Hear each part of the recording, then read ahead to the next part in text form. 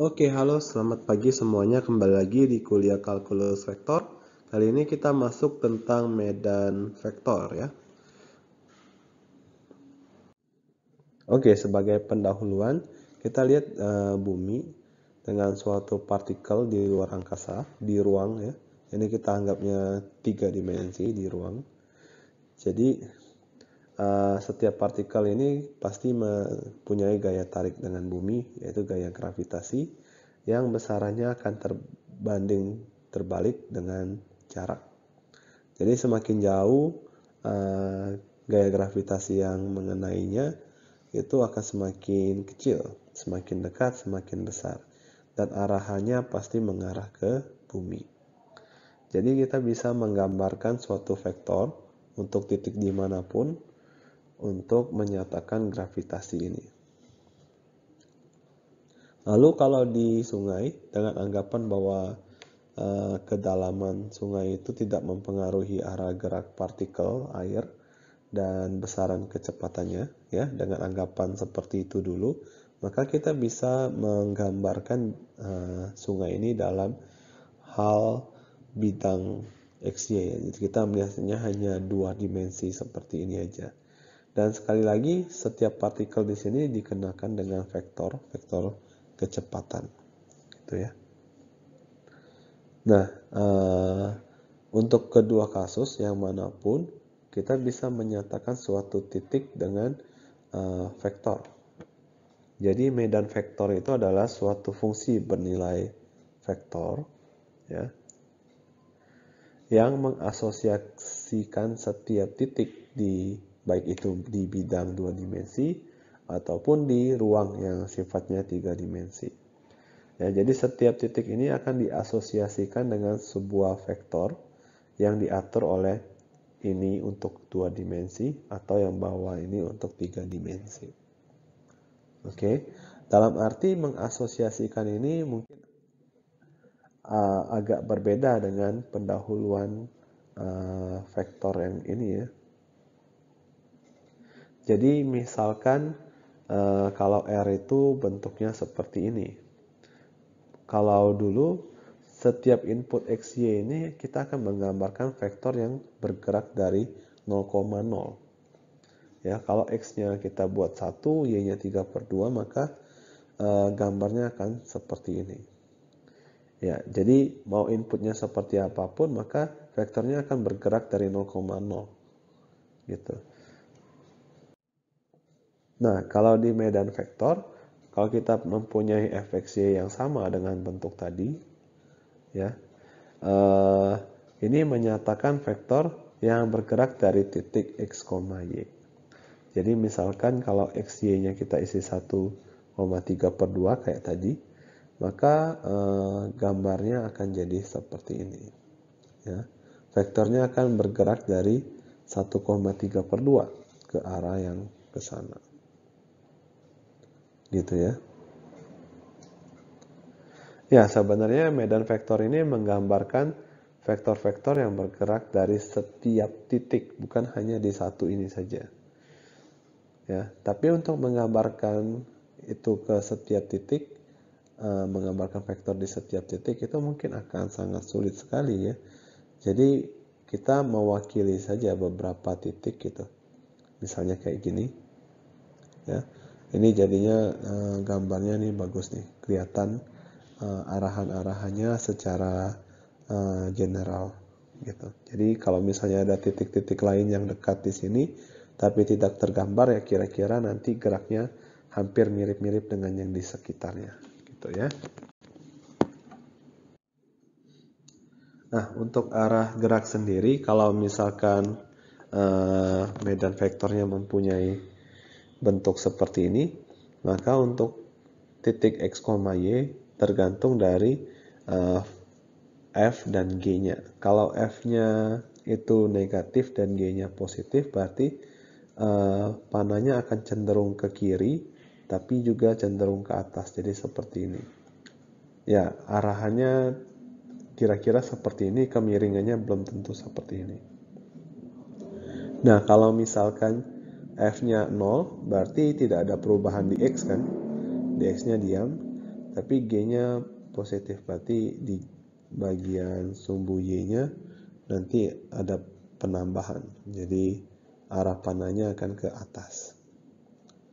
Ya kalau F-nya positif dan G-nya positif berarti dia akan ke arah kanan dan cenderung ke atas juga. Jadi panahnya kira-kira seperti ini ya khususnya kalau F-nya 0 dan G-nya 0 maka uh, tidak ada vektor yang uh, muncul di titik tersebut ya. Jadi dia hanya tok titik aja gitu. Seperti itu. Oke jadi tergantung F dan G nya positif negatifnya seperti apa. Oke uh, untuk contoh pergerakannya misalnya ini gambar yang ini tadi. Kalau kita ambil misalnya satu titik di sini misalnya ya misalnya satu titik di sini. Nah kita lihat titik ini dikenai sama vektor ke atas. Jadi kita titiknya bergerak ke atas. Nanti di sini kita lihat lagi vektornya ke mana gitu. Bergerak ke mana bergerak ke mana kita ngikutin aja arah vektornya. Gitu. Kira-kira besarannya seperti apa menuju ke mana tut gitu ya. Oke. Kalau di bawah berarti geraknya mutar ke bawah dulu baru ke atas gitu oke kira-kira seperti itu Nah, untuk plottingnya, uh, kalian juga masih bisa menggunakan website dengan GeoGebra misalnya uh, yang ini. Ya, untuk gambar dua dimensinya bisa pakai ini. Uh, kalau mau menggambar visual untuk tiga dimensinya, ada link yang ini juga. Ya, bisa kalian coba. Oke. Jadi medan gradien. Ya, misalkan P, X, Y, Z adalah suatu fungsi tiga berubah. Uh, medan gradien dari P itu adalah medan vektor yang dinyatakan seperti ini.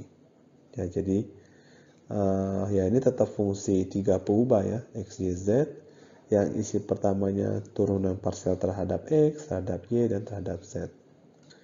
Nah, bila kita mempunyai suatu medan vektor lain yang di mana medan vektor ini sama dengan uh, nabla dari pi tapi tidak harus di seluruh domain ya cukup di suatu wilayah R maka kita bisa sebut fungsi pi ini sebagai potensial dari uh, medan vektor F di R oke okay. Uh, selanjutnya tentang divergensi. Ya, divergensi ini sebenarnya hanyalah besaran selisih output dan input dalam tanda kutip ya. Dia dalam uh, besaran vektornya. Gitu. Ya, contohnya uh, yang seperti ini ya. Kalau kita lihat yang warna kuning ini cenderung vektornya akan cenderung kayak masuk ke arah warna ke ke pusat gitu ya. Jadi inputnya ini banyak ini. Kalau inputnya banyak ini uh, berarti uh, dia akan seperti menuju ke suatu titik kayak gitu ya.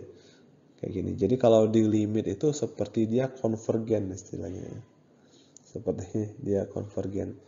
Nah, di sini dalam hal besaran berarti divergensinya akan negatif di sini. Uh, kalau di warna merah yang di sini uh, ya dia besaran input dan besaran uh, outputnya sekiranya hampir sama ya jadi uh, diferensinya di sini 0 nah untuk yang warna biru di sini uh, partikelnya cenderung keluar dari lingkaran biru ini ya. Cenderung mau keluar. Uh, dengan kata lain dia akan diverge. Jadi divergensinya akan besar di sini positif. Oke. Okay. ya jadi uh, intuisi awalnya seperti itu. Divergensi itu adalah output dan input. Selisihnya seperti apa? Nah intuisi selanjutnya kita lihat di satu sumbu aja dulu jangan uh, x y x y z yang yang cukup complicated ya. kita cukup ambil satu aja. Misalkan gxy-nya 0 gitu. Uh, kemungkinannya di suatu titik itu medan vektornya antara dianya menuju dari kiri kanan seperti ini atau keluar atau ada yang menuju lalu keluar atau yang uh, keluar tapi di kanannya menuju dia gitu ya ada empat kemungkinan bentuk ini yang pertama uh, berarti dari kirinya dia akan input kan dari kanannya juga akan input tapi kalau kita lihat kalau dari kirinya itu input berarti vektornya ini akan mengarah ke kanan. Artinya F-nya akan positif. Sedangkan yang di sini F-nya negatif. Oke, dari posisi kiri F-nya yang positif ke posisi kanan F-nya negatif. Berarti terjadi penurunan F terhadap perubahan X ya. Artinya uh, turunan parsial terhadap X-nya akan negatif. Ya, kalau output dan output seperti ini, berarti yang kiri ini kan uh, panahnya juga sudah ke kiri nih, berarti F-nya negatif. Yang ini panahnya ke kanan, berarti F-nya positif. Dengan kata lain, perubahan F terhadap X yang dari negatif menjadi positif berarti meningkatkan Fx-nya positif gitu. Dan kalau dia input dan outputnya sama-sama positif ke kanan semua kayak gini, ini tergantung fx-nya nanti. Ya, perubahan fx-nya di sini seperti apa. Apakah cenderung f-nya meningkat atau menurun. Ya, kalau f-nya meningkat kan berarti uh, outputnya akan lebih besar daripada input. Berarti kalau fx-nya positif, outputnya akan lebih besar daripada besaran input. Oke. Okay. Nah, kalau yang ini uh, ke kiri-kiri gini ya. Nah, kalau besaran outputnya di sini besar, berarti dia akan negatif sekali dong. Berarti di sini akan lebih tidak terlalu negatif gitu. Ya, misalnya kayak di sini min 3, di sini min 1 masih gitu. Oke. Nah, artinya apa? Perubahan terhadap X, nilai F itu akan tetap meningkat ya. Kalau outputnya di sini besar gitu. Ya, jadi dengan kata lain kalau fx-nya positif, besaran output akan tetap lebih besar daripada besaran input gitu. Ya, jadi uh, bisa kita lihat kalau inputnya itu full kiri kanan, fx itu negatif. Kalau kita seperti outputnya itu mau lebih banyak, kita perlunya uh, fx-nya positif, fx-nya positif, fx-nya positif. Jadi uh, nilai divergensi dari f itu akan setara dengan fx yang ini.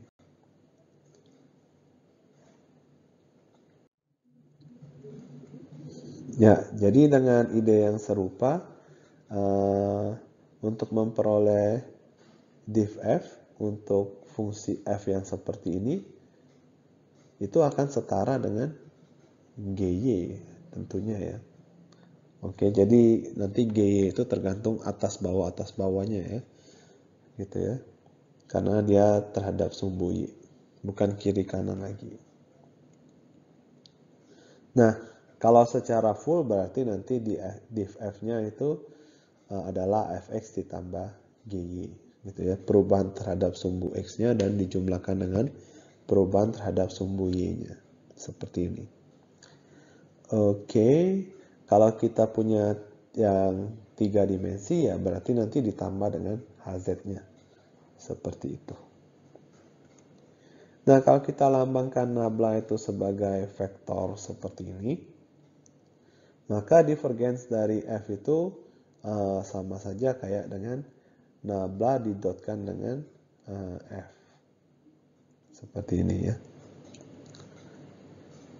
Oke. Okay. Karena ini adalah perkalian dot, berarti nilainya adalah skalar. Seperti uh, definisi yang kita tahu tadi, yaitu besaran ya, besaran. Jadi skalarnya.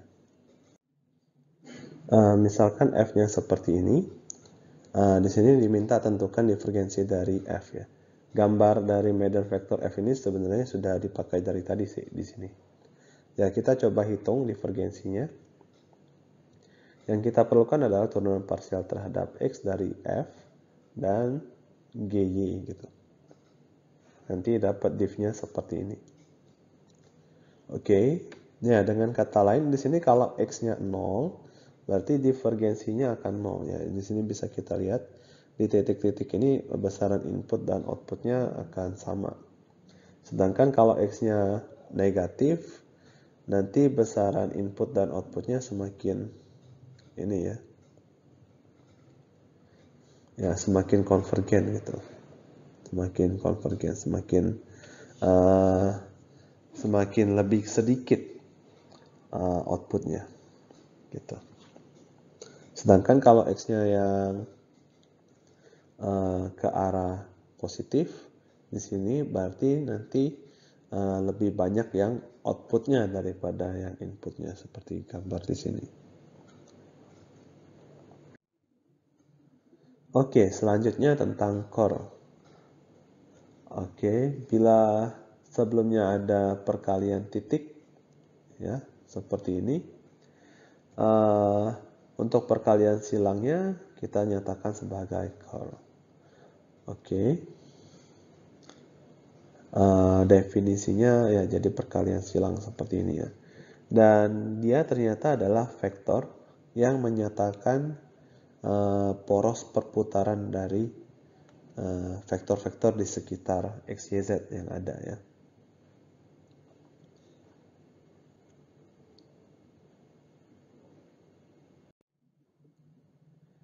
Oke, jadi uh, kita lihat lagi intuisi untuk core di dua dimensi dulu. Uh, ya, kita pandangnya f-nya seperti ini. Ya, di komponen i maupun j tidak bergantung dengan z lalu di komponen K-nya 0. Jadi kita benar-benar kayak melihat di dua dimensi aja cukup. Uh, maka uh, akalnya dari F itu adalah uh, suatu vektor yang terhadap K saja, hanya Gx min K. Oke. Dalam kasus Gx min Fy-nya positif, ya, berarti kalau ke arah atas kan. Ini ilustrasinya kayak gini. Ini uh, medannya medan magnet sih kalau dari gambar. Ya, aturannya tetap aturan tangan kanan. Jadi kalian coba putar genggam ke arah putarannya, jempolnya itu ada di ada di mana. Nah, kalau Gx min Fy-nya positif, berarti karena ini kan ke atas ya. Ini ke atas.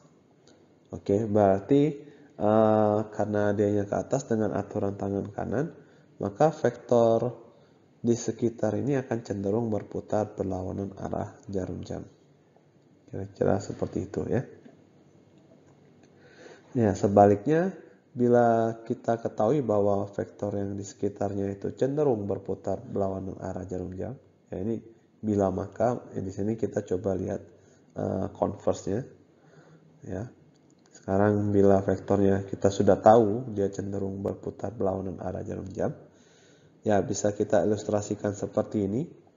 Kita tidak perlu vektor-vektor yang bengkok-bengkok itu ya. Kita cuma lihat posisi-posisi uh, yang vertikal dan horizontalnya aja dulu. Misalnya kayak gini.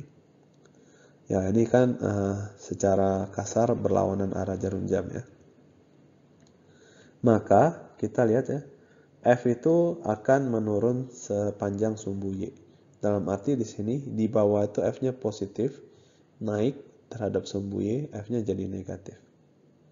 Berarti FY itu akan negatif ya, dia cenderung turun soalnya terhadap sumbu Y. Sedangkan GX yang sebelah kiri ini negatif, ya sebelah kanannya positif, berarti dia akan cenderung naik, sehingga GX-nya positif. Ya. Kalau GX-nya positif, ya GX dikurang FY, ya FY yang negatif ini min FY jadi positif kan. Berarti Gx min Fy pasti positif. Oke. Okay. Jadi kalau kita pandang di dua dimensi ini kita seperti melihat poros perputarannya ini ya. Poros perputaran dan arahnya ke mana. Melihat dengan aturan tangan kanan. Gitu. Oke. Jadi terlihat dianya akan berlawanan arah jarum jam. Ya enaknya kalau di dua dimensi itu arah perputaran hanya dua antara dia berlawanan atau searah jarum jam. Ya, misalkan uh, F-nya yang, yang seperti ini. Oke. Kita coba cari curlnya. F-nya kita di sini cuma perlu FY dan GX saja karena uh, ya kita hanya perlu ini di curl dapat seperti ini. Kalau kita lihat dari gambar lagi 4YK ya. Kalau Y-nya positif ya di arah plane ke atas gitu. Berarti partikel-partikel partikel di sini di sekitarnya akan cenderung berputar yang berlawanan arah jarum jam seperti yang kita bisa lihat ya. Dia seperti berputar berlawanan arah jarum jam. Sedangkan kalau Y-nya ini negatif, dia seperti berputar searah jarum jam. Uh, di kasus Y-nya sama dengan 0, di sini tidak ada perputaran ya, dia cuma datar aja. Gitu. Nah, seperti itulah kira-kira. Oke. Okay. Ya, di sini ada cobalah uh, ada empat fungsi kayak gini. Coba dicocokkan uh, medan vektor ini cocok dengan gambar yang mana. Ya, lalu untuk di sini cobalah dua. Uh, kalian diminta untuk mencari divergensi dan sini. Ya ada baiknya juga kalian sertakan atau lihat visualisasi dari uh, medan vektor ini di tiga dimensi. Ada uh, GeoGebra-nya tadi. Coba di iseng-iseng bikin lihat gitu ya uh, ya sedemikian dulu untuk materi hari ini. Sampai jumpa di materi selanjutnya